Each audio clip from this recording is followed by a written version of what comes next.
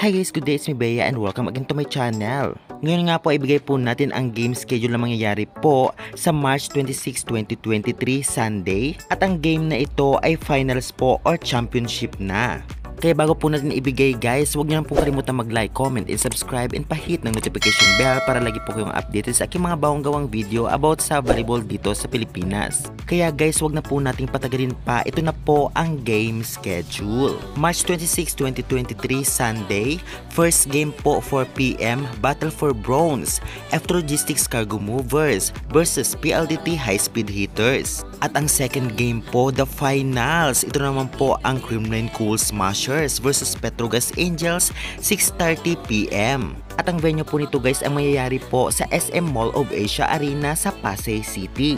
Nakilala nga natin ngayong conference na ito kung sino nga ba ang maglalaban sa finals or championship at hindi po malabong mangyari na talaga namang Kremlin Cool Smashers again versus Petrogas Angels na dati pa naglalaban sa championship noon pa. At alam naman natin guys ang kakayahan ng Petrogas Angels at minsan na rin natalo nito ang Creamline. Kaya naman magiging maganda ang labanan na mangyayari sa Sunday sa March 26. At first time din talaga namang tumayo nitong si Coach Oliver Almadro na talagang champion ang paglalabanan nito sa professional liga like PVL.